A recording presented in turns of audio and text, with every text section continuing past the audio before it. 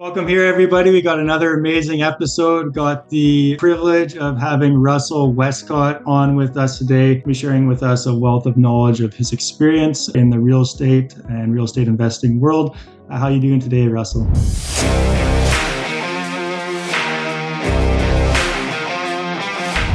Wow, amazing episode, man. Setting talk about setting the bar really high, my brother. Maybe maybe we'll wait yeah. till the end of our conversation to, to, to, determine if it is amazing. But but I will do my best to deliver as much as I can in a short period of time. And I hope everybody has a pen and paper because I, I get when I get cooking, you know, things get almost combustible here a bit. So so Derek, first and foremost, great to see you. Happy New Year. I am just on fire this morning, by the way. I can tell. Yeah, that's wonderful. We were chatting a little bit before, and I, I knew right away that you know you'd have a lot of great insights to tell the, the audience about and just share your experience. And as mentioned before, a unique perspective from the real estate investing world, but also having, uh, like you said, you know, spent millions of dollars hiring contractors, working on you know different builds and, and things like that. It's it'll give us a really unique way of looking at things and some experience that other you know contractors and builders may not have. So tell us a bit about yourself and you know your businesses and your, your background? I'll tell the um, the more relevant, interesting story for the majority of your audience. You know, uh, here's the short version. I was born and raised in small town Saskatchewan, born in a mobile home park, climbed the corporate ladder, went to university, got a degree in Bachelor of Commerce, and was climbing the wrong ladder, was doing very well, moved up very quickly with the jobs I was doing. Um, but I had a, you know, a crisis at about age 30 of just, you know, was climbing the corporate ladder and things weren't going very well. And I just had lost a lost a little bit of direction. And at that time, I um, you know, where does any young 30 year old man turn to for spiritual and guidance on your future?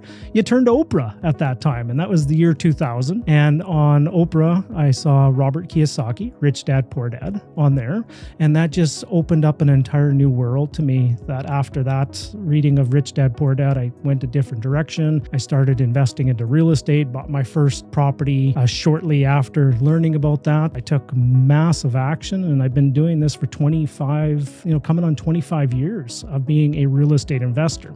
Now, for your audience for relevancy, I'm not a contractor, I'm not a general contractor, I'm not a home builder, I'm not a handyman. As a matter of fact, a lot of your uh, people, your audience, there's an old saying in kind of that building world that either you're handy or you're handsome. When I go to a job site, unfortunately, I'm neither. And and I, I sit there and go, well, where do I kind of fit into this whole mix? I'm the kind of guy, I'm, I'm, I'm the kind of the guy that buys the properties. I work with incredible teams of general contractors, right down from handymen all the way up to massive home builders. And I'm kind of the guy that uh, delivers capital to the project, delivers the people to the project, and brings the project to completion at the end. So I would hazard a guess over 23 to 24 years of doing this, I probably have spent upwards of tens of millions of dollars with contractors and general contractors and handy people and all that kind of stuff. It's uh, so I have a very u- unique perspective to offer to your audience here today. Yeah, definitely. You know, the building and the contractors are an integral part of, of investing and, and seeing a project through and a big part of uh, a team to um, to move projects forward. So yeah. without uh, them, like no, any... honestly, honestly, Derek, sorry to jump mm-hmm. over there for a second. Yeah, without them, nothing happens. To be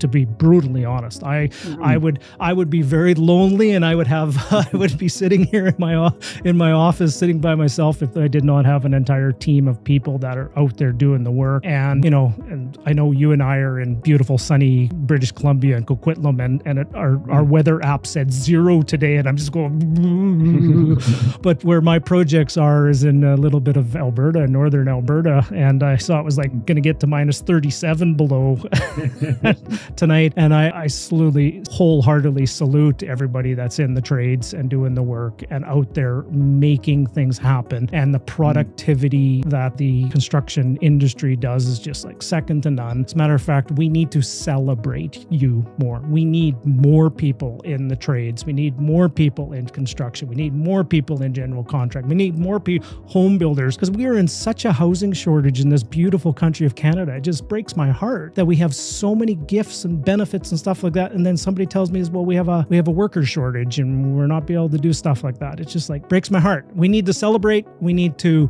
encourage encourage more people to get into the trades. And I'll get off my soapbox now here. Mm-hmm. Yeah, uh, 100%. There's definitely a shortage of, you know, good quality trades workers and, and new guys coming up into the trades. And uh, it's so important. And it's it's what built this country and who built this country. And it's definitely a big part of, of the ongoing growth of the nation. So um, super, super important. And I can uh, very closely relate with all the guys out there in the cold weather. Uh, I'm from Winnipeg, so I'm very used to framing in minus 40 degree weather with the snow blowing and uh, trying to move the arms around to keep the, the fingers warm and stuff like that. Wow. So I, am originally from Saskatchewan, so I mm. understand cold. And yeah. it's funny, a few years ago when I started mentioning zero is cold and brr, I had to turn my Saskatchewan card back in. They they are no longer they no longer recognize me as Saskatchewanian.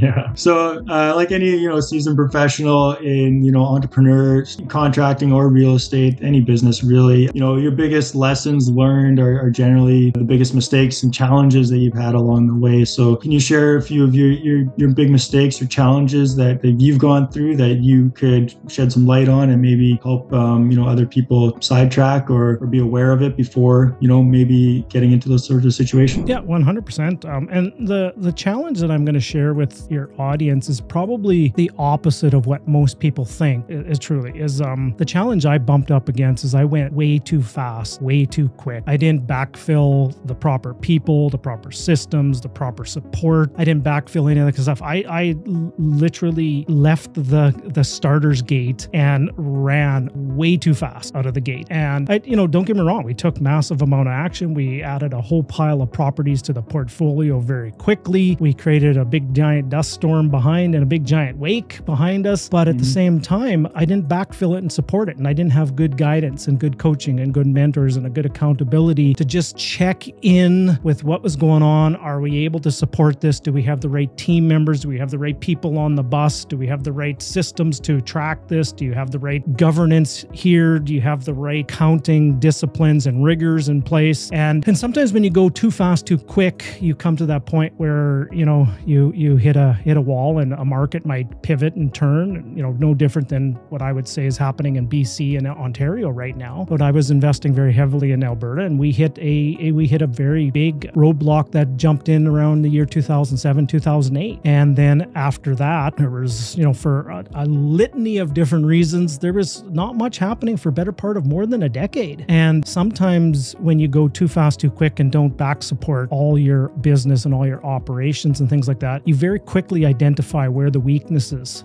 lie in the um, process. And i clearly identified where the weaknesses were. And it was it was a, a, painful few years. It was a painful you know better part of eight to ten years in a lot of respects of just cleanup and dealing with stuff that i, I shouldn't have bought, bought in the wrong areas and the wrong tenant profiles and bought the wrong properties and had to clean that up. And about about four five years ago started to after getting through that cleanup of a lot of that to starting to rebuild again but be mindful and be diligent of the rebuild process to build with the right systems, build with the right people, build with the right rigors, build with the right operations in place. And I'm still I'm not perfect. Operations for me is uh, is sometimes a four-letter word. I'm not the most I'm not the best at it. It's not typically my lane, but that's where I I lean upon other professionals to do what they do best. And no different than, than probably the majority of your uh, audience is I rely upon the general contractors. I rely upon the home builders. I rely upon them to take care of a lot of those business operations on the job sites in the build in the build process. Yeah, super important and I call it like the foundation of systems where if you don't have that foundation in place, you can only build so big before things start to fall apart and you have no more time in the day or no more hats that you can put on to wear. So getting that right, even though it seems like it's maybe slowing down your process, your your trajectory will be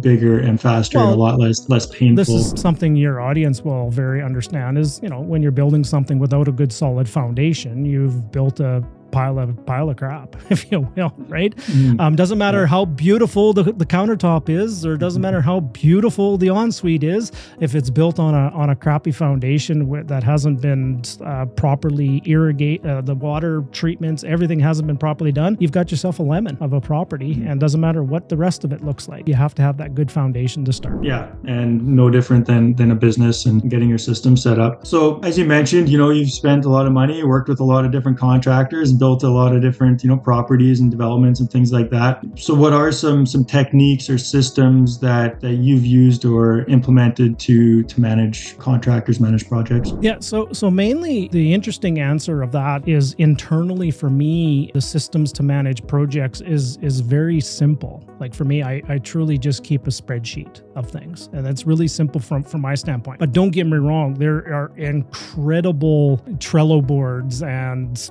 detailed systems and stuff, but that is handled by by my property management team, the team people that manage the manage the tenants and manage the properties. They manage an entire database of, of calls and connects and things like that. And then also on the builders that I use, they have an incredible system. And I honestly I don't know, to be totally honest, I don't know their systems. All I know is uh, they deliver an incredible product at the end result. And along the way when i if i need an update on something like that within a day they can provide me an update with exactly where things are exactly where things are at. And then by the time my quantity surveyor goes in to analyze the statements and analyze all the things and have their you know their big giant spreadsheets and stuff like that the building team is is literally on top of it. So i rely upon the people that manage their business to tell me what's going on in many respects. And uh, for many of your um, audience, if you want to uh, really dive deep into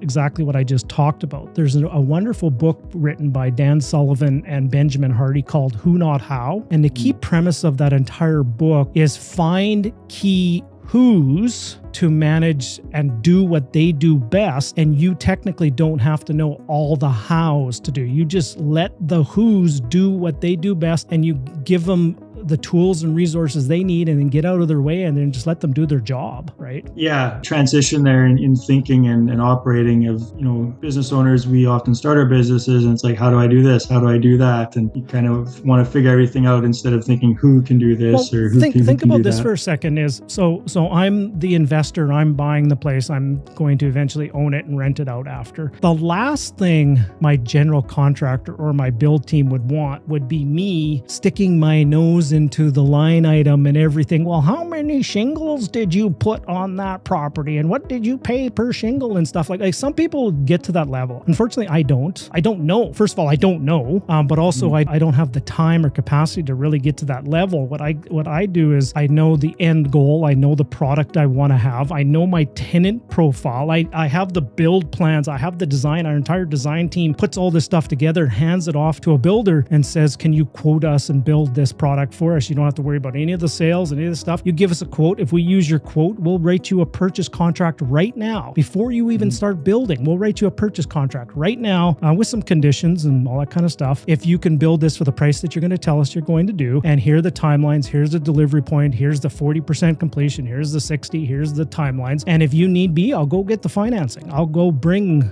the capital. I'll bring you the land, I'll bring you the construction financing, and then I'll bring the completion finance as one strategy. There's multiple different ways we can do this, but at the same time, I would say uh, majority of my build teams don't want me to really be in their in their back pocket. That's that's why you, you hire professionals, right? That know what that they're doing. and and here's the thing: is you can cl- you can clearly tell if somebody knows what they're doing and they're professional. And you may try somebody once and they might not be able to get their stuff together, then you might not use them again. But if they do the job, um, you know, I'm just referring to one of our build partners that we use. Right now, they're doing four, four build projects for us. And I have a feeling capacity that they have, they can probably deliver 30 or 40 houses for us. Now, if you're a builder, when you like to just work with one person or one team of people and know that you got 40 homes that are going to be delivered on a 24 uh, every 12 months, you can have that many houses that are going to be delivered. And all you have to do is manage one relationship. Man, sign me up. Definitely a good working partnership there for for, both yeah, sides and uh, the relationship yeah. and the partnership 100% mm, yeah and i'm sure there's you know efficiencies and, and a lot of stuff that goes along with working you know hand in hand with people that, that know what they're doing right? The, the who not the how. So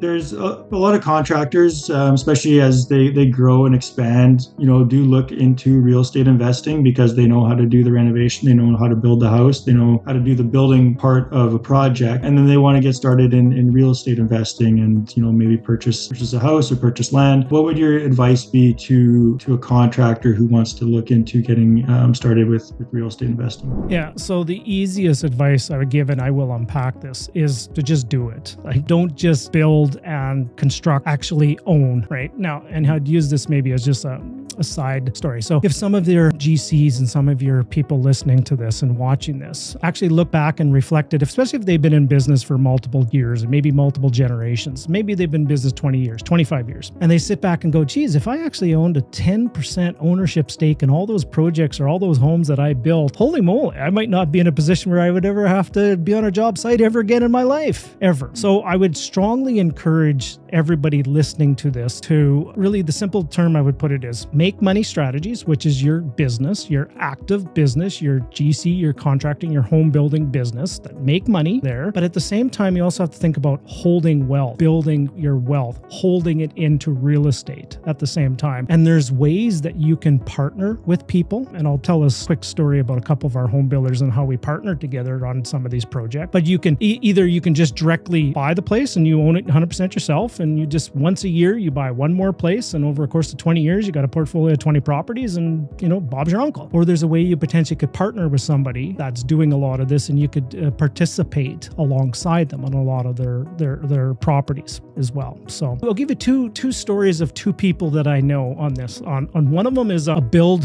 uh, a business. And, and here's the thing is sometimes the first step I would always coach and counsel people on is, is what do you want your business to look like? What do you want to provide it to you? And in this case, this person is they just wanted it to provide them for, for 20 25 years. And then after that period of time, they would just, you know, ride off in the sunset, maybe sell the business off and then retire down in Palm Springs, Mexico, whatever. So what they did 20 some years ago was they partnered with a property management company. They partnered with a good realtor. And what they did was they became the preferred supplier for that property management company, for that realtor, for that business team. And honestly, they had no marketing costs. All they had to do is just manage one or two relationships. And they had more business than they possibly could shake a stick at just through this property management company that had, you know, three, 400 properties that, that they were looking after. Okay. And then what they made a pact of is every year we're going to take some of our profits off the table and we'll just go buy one more. We'll buy one house. We'll buy one property. We'll buy one property. And lo and behold, um, I talked to them a little while ago. They were, yeah, we're done. You know, we're 20 years in and we're now done. We're now selling the business off and we've got our real estate. We're going to sell off a third of the port properties. We're going to pay off the rest of the mortgage on the other two thirds. And uh, we've got enough passive cash flow income from the remaining properties that uh, we, we're, we're done. We're going to Hawaii. We're going to Mexico. We're going to go travel, right? So that's on one side. Mm-hmm. On the other side, let's say it's a, a home builder and this home builder is uh, doing very well and they can deliver, you know, 30, 40 properties a year. So what they'll go out there and they'll go, they'll go out and they'll identify land positions and they'll go actually go put a deposit on a piece of land and they'll tie up some land positions. And then what they'll do is they'll partner with an investor at the same time, like myself, I come in, they own the land. I will buy the land off of them as part of the build project and they'll mark it up by 8 to 10%. So they make, you know, 30, 40, 50 grand right up front on the acquisition of that. And then I will get the construction financing and the completion financing. And I literally write them a contract before we even start the process. Then they can take that contract to the bank to get some financing if they need it, or I provide the financing for them. And literally, they're, they're working with one investor that can deliver them um, through themselves or their partner network and deliver 20 or 30 homes a year. And they have to do none of the sales part of it, none of the marketing part of it, none of the, none of the, uh, you know, having to get a realtor at the end to sell it. It's sold before they even start building it. And that home builder will essentially has guaranteed completions and has also made a little bit of money at the front on selling the land to the investor at the same time. And as the investor, I'm happy if somebody goes out and buys the land if it makes sense, if it makes sense of the build project. And I will happy pay them a little premium for that because I'm exchanging their credit and their capital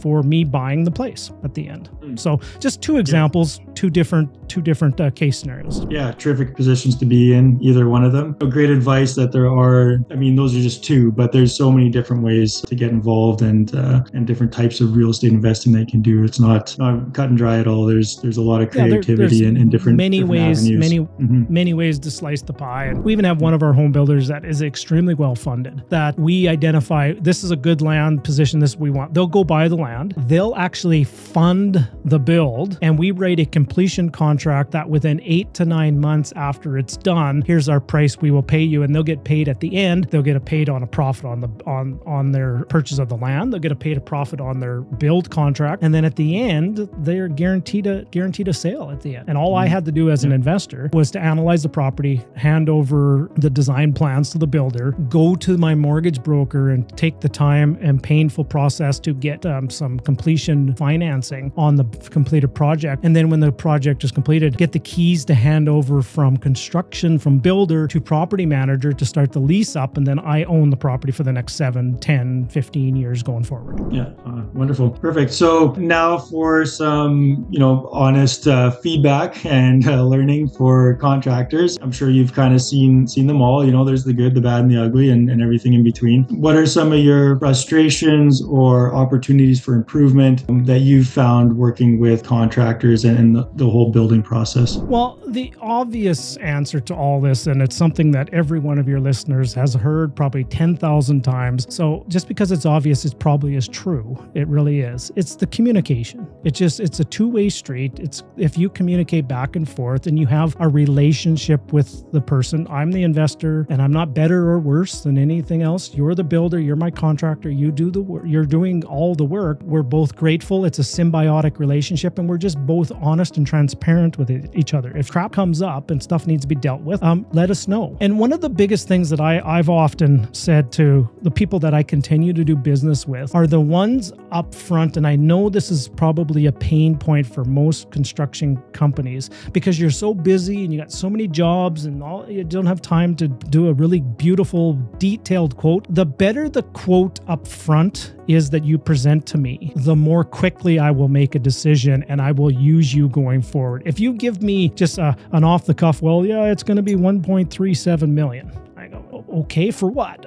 but if you give me a detailed build plan and cost structure and all these kind of things and broken down into here's the, the remediation plan and here's the decommissioning plan and here's the build permit plan and here's the architect plan and here's all the numbers of doing that and it builds all up, I sit there and go, yeah, I'm, I'm in, right? The more detail, the more transparency we have up front, the greater mm-hmm. the chance we have of success and the greater the chance we have of coming to a conclusion if something is going off the rails, we'll, we'll hone in on something something as opposed to just saying, yeah, we need another 40,000. Yeah, for what? Like, what do you need it for? Well, okay, let's go back to the decommissioning plan. Remember when we said we needed to do this for that? Yeah, our the cost to move that telephone pole in the back is now coming in at, at 80 grand as opposed to 60 grand that we put into the into the budget. So we need to revise that. Okay, got that. That's line 178 on the demo plan. Okay, got it. Let's revise that. Right. Yeah. Yeah. Good feedback there. And I know it's it can be seem tedious sometimes to to yeah. go go into those levels of detail. But oh, oh sorry, I, really I don't want to.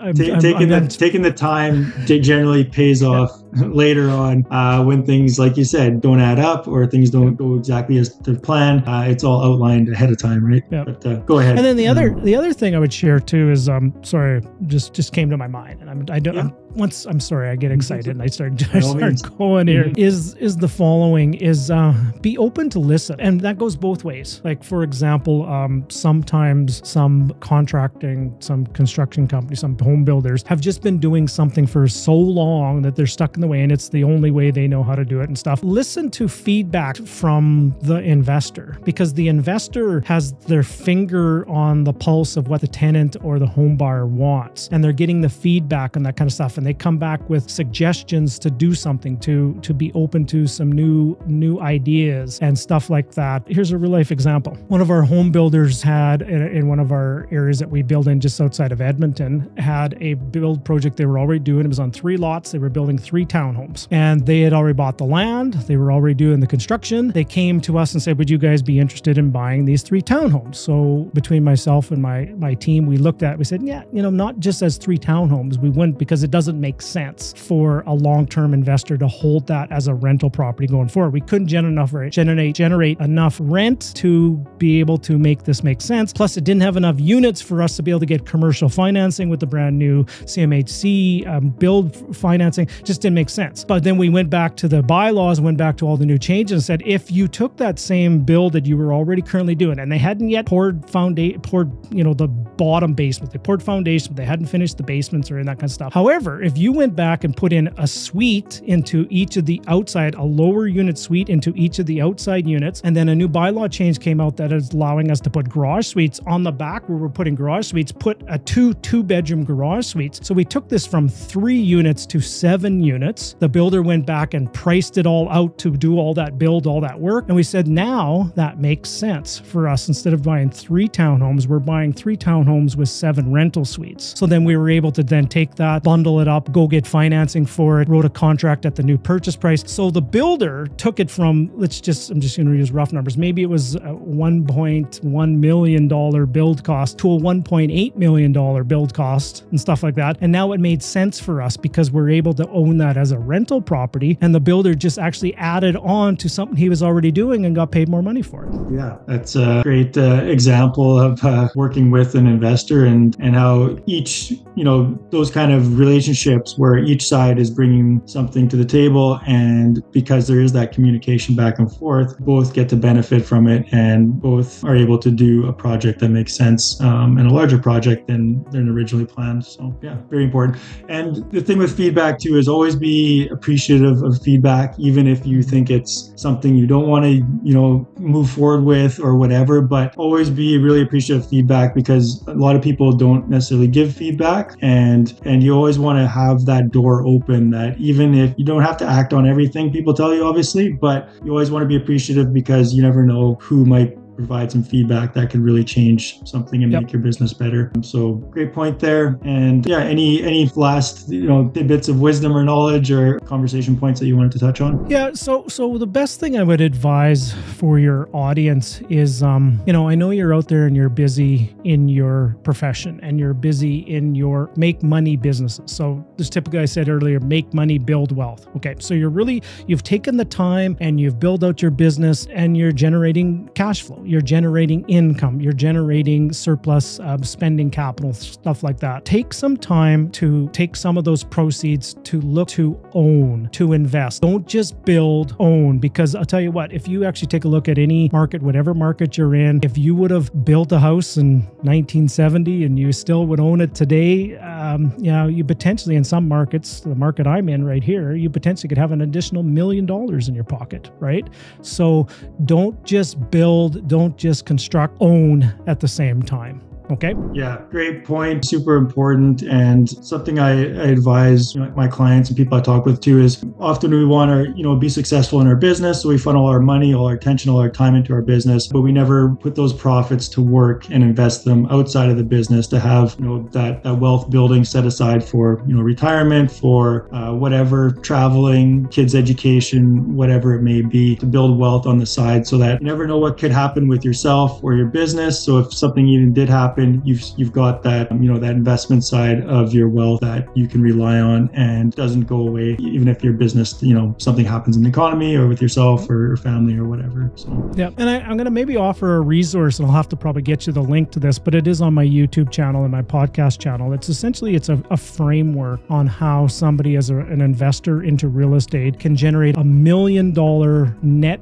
worth and a hundred and eight thousand dollar income stream per year uh, over 15 years by doing a program what I call 321 free. So it's 321 free. Buy 3, mm. sell 2, keep 1 free and clear. And over a period of 15 years or less depending on the market conditions, you can have yourself a pretty tidy little portfolio that will outlive you and will be a legacy that you leave for family, everybody else. Wonderful. Yeah, we'll we'll definitely put a link to that uh, in the description of the video so people can go check it out and get, get the advice and you know long-term thinking with the right plan so much as possible. So appreciate you coming on here, Russell, and uh, sharing with everybody. What's the best way for people to reach out to you if they want to connect with you or learn more about um, you know some of the things we've talked about today? Well, the, the simplest answer. So if you're watching this on video, I'm just putting something along the bottom on my screen, just all my social channels, and, and the simplest answer is if you Google my name, Russell Westcott. That's W E S T C O T T, and Russell two S's two L's. If you Google that, you will find all the things that uh, about about what I do. Um, I've been spending an awful lot of time alone in the, in the studio here doing doing podcasting and uh, putting a, a, show together. And you know, I have a face for podcasting, so I, have been enjoying that. My YouTube channel, I think, has more than 400 videos on it. If it's someplace that you want to really dive into, and then my just my personal name, russellwestcott.com. It's kind of the hub of everything else around that. Perfect. So yeah, we'll put some some of those links in the description below. You can go click on them and uh, find out more and connect with Russell. Thanks again for coming on, and thanks the audience for watching. Take care. Honored to serve. Thank you.